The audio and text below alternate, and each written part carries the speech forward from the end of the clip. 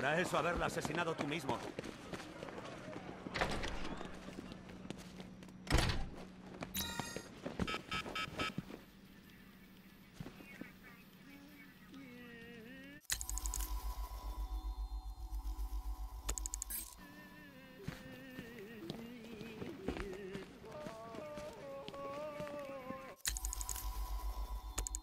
¡Hey, Ángel! ¿Dónde está tu dios ahora? La única justicia es la justicia divina. La única ley es la de Dios.